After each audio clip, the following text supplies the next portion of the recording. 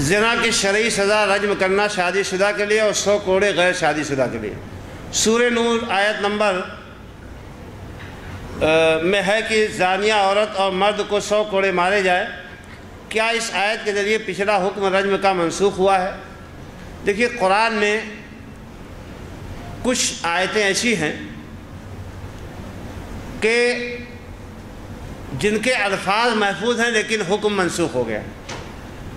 जैसे मिसाल के तौर पर अलदीन युतीकून फ़िदयतन ताम मस्किन।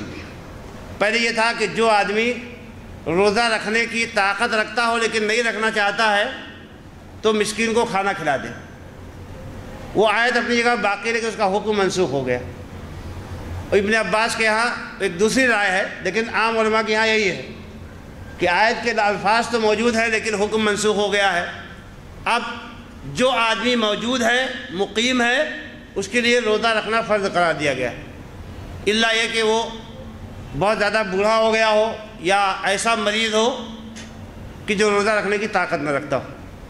और बाद आयतें ऐसी हैं कि जो लफ्ज़न मनसूख हो गई हैं, लेकिन मानन उनका हुक्म बाकी है।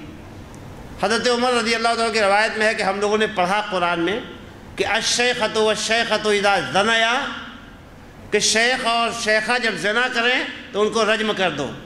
लेकिन फिर बाद में इनके अल्फाज मनसूख हो गए, लेकिन उनका हुक्म जो है बाकी रहा। तो शरीयत क्या है? कुरान और हदीस को मिलाकर शरीयत बनती। सिर्फ़ कुरान शरीयत नहीं है, शरीयत दोनों को मिलाकर बनती। है तो हदीस में ये हुक्म मौजूद है, इसलिए साहबा ने कहा है कि अल्लाह के नबी ने रजम किया? हम भी रजम करते हैं और यही जो है, हुक्म कुरान और सुन्नत का है।